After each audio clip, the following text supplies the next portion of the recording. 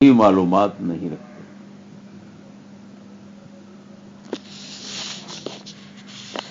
आज बंदा नाचीज ज़रूरत के मुताबिक मुख्तसर मसाइल बयान करना चाहता है।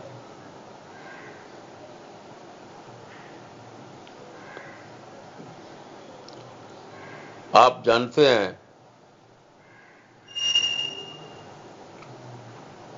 कि ज़मीनें दो तरह की हैं। एक बारानी है, एक नहरी है। बारानी ज़मीनें ये पोठवार इलाके की हैं ज़्यादा। उन इलाकों में पानी लगाने के लिए नहर वगैरह मुमकिन नहीं होती। तो वो बारिश से।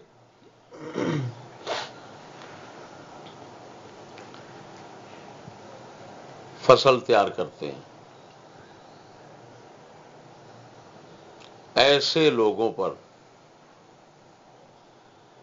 पैदावार का दसवां हिस्सा ज़रूरी है।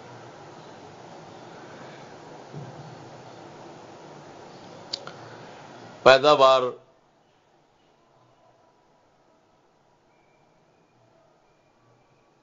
जिस फ़सल की भी हो।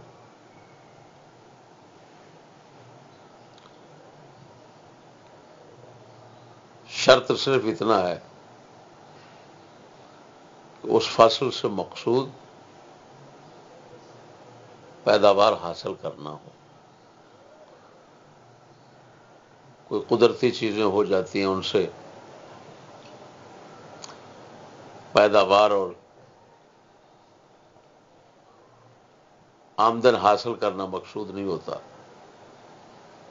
उन पर ओशर नहीं होता। बाकी घास है, अनाज है,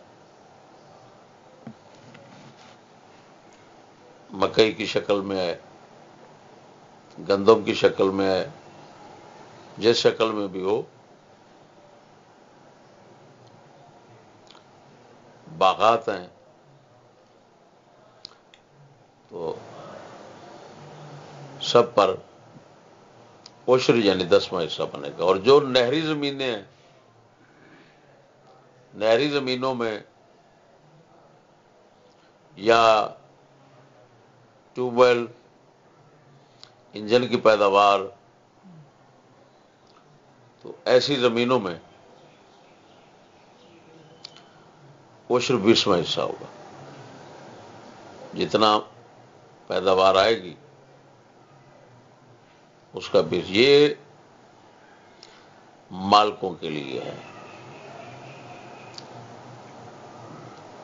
अब वो लोग जो काश्त पे जमीनें मालिक मालिक से लेते हैं, और काश्तकारी करते हैं, जिनको मुजारिया कहा जाता है। तो ये मुजारिन हजरात जो है ना, ये उनके लिए इस सूरत में जबकि एक बंदा काश्त कर रहा है, आपको मालूम है इसकी दो सूरतें बनती हैं। एक साल के ठेके पर ज़मीन देते हैं, पैसा ज़मीन किराए पर ले ली, समझो। पैसा उसको दे दिया, साल के बाद। और जो आमदन है वो दूसरा रख लेता है, काश्तकार रख लेता है। इस सूरत में ओशर दोनों पर होगा। मालिक पर भी ओशर होगा, उसको फिका की ज़ुबान में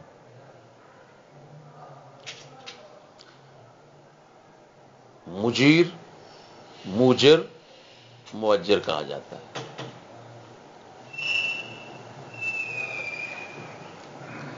और जो दूसरा काश्तकार है, जिसको मुस्ताजिर कहा जाता है तो उसके पास उसको जो पैदावार हासिल होगी, उस पर भी उशर होगा। तो ये दोनों मालिक और काश्तकार, दोनों अशर अदा करेंगे।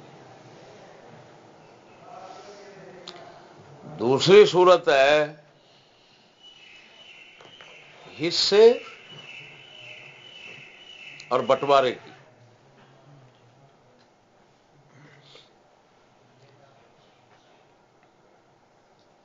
एक ज़मीन देता है,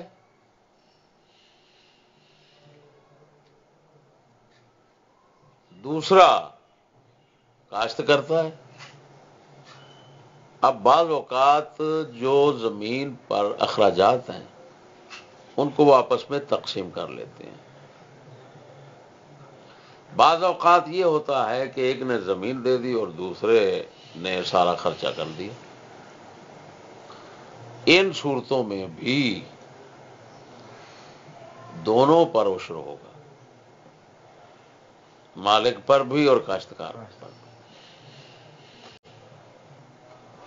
कि मालिक और काश्तकार दोनों ने उश्र देना है। हर एक ने तकसीम के बाद उश्र देना है। पहले तकसीम कर लेंगे। मालिक अपना हिस्सा ले जाएगा। काश्तकार अपना हिस्सा ले जाएगा। उसके बाद वो अपना हिस्सा, ये अपने हिस्से से उश्र अदा करेगा। वो अपने हिस्से से उश्र अदा करेगा। ये हैं मुख्तसर मसाइल उश्र के मुतालिक।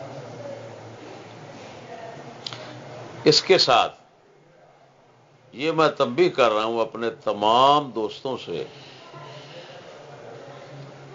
कि जितने उश्र वसूल करने वाले लोग हैं आपसे,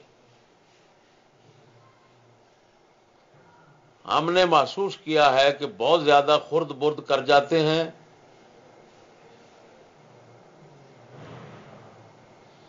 ऐसे खायन लोगों की ख्यानत से बचने के लिए। हमने ये तरीक़ाकार हमने ये तरीक़ाकार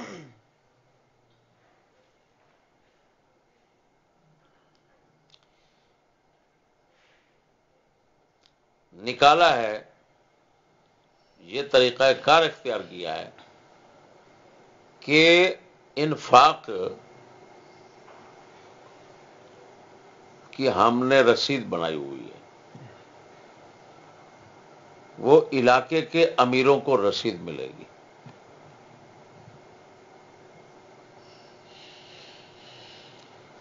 आपने जो अशर देना है, उस रसीद पे दर्ज होना चाहिए। आपने एक दाना भी किसी को नहीं देना। जो कुछ देना है, उस रसीद पे लिखना है। फिर मैं दो चार नंबर बता रहा हूँ।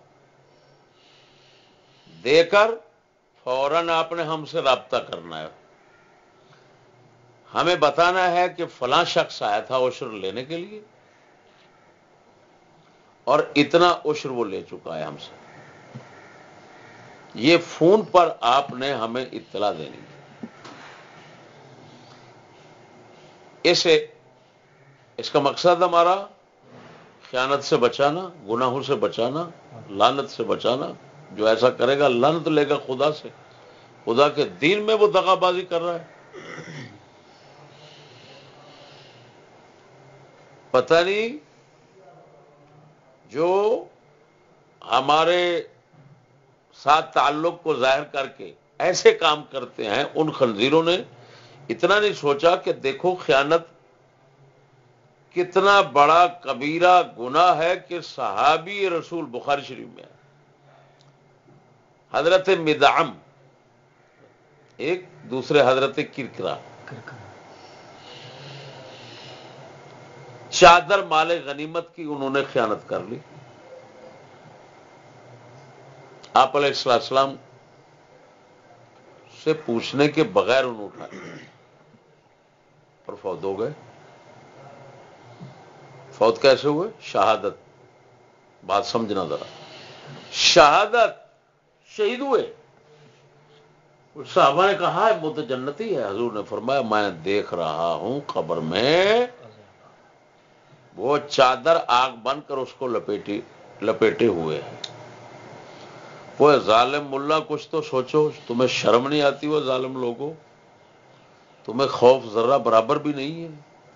सकूलियों की तरह कुत्ते पड़ते हो, माल पर सकूलियों की तरह शर्म करो। उर्द बुर्द कर जाते हो, मेरे दोस्तों, खबरदार। इस मरतबा एक दाना भी अगर किसी मदरसे में जाएगा तो वो हमारी निगाहदाश्त में जाएगा। हमारी नज़र से गुजर कर जाएगा। अगली बात जो खसूसी काबिल तवज्जो है। बिला ज़रूरत मदारस जो भी उठता है बन, वो बना कर बैठ जाता है तो मदारस आम हो गए हमारे। और इलाके के लोग मदरसे को माली इमदाद देते हैं। और नतीजा क्या निकल रहा है? सिफर। ना उनमें कोई आलम तैयार हो रहा है? और ना ही ऐसा कोई दीनदार बंदा तैयार हो रहा है कि हम जिसके मुतालिक कहें कि यार माशाल्लाह ये दीन की खिदमत करेगा। आज के बाद कोई मदरसा किसी इलाके में हमारी मर्ज़ी और हमारे मशवरे के बगैर नहीं बनेगा।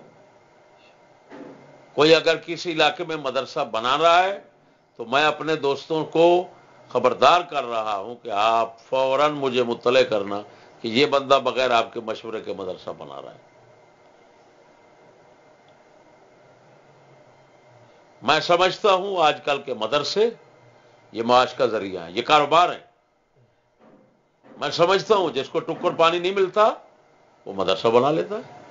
लाख लानत है ऐसे इरादे पर कि टुक्कर पानी ये तो वही जो मैं कहता था चाह पानी का भट्टा पेट्रोल पंप वो जालमो खुदा का खौफ करो ये माश का ज़रिया नहीं है बेजमीरो ये माश का ज़रिया नहीं है। ये दीन फैलाने का ज़रिया है। दीन शूर पैदा करने का ज़रिया है। इस नीयत से मदरसा बनाएगा तो जहन्नम है।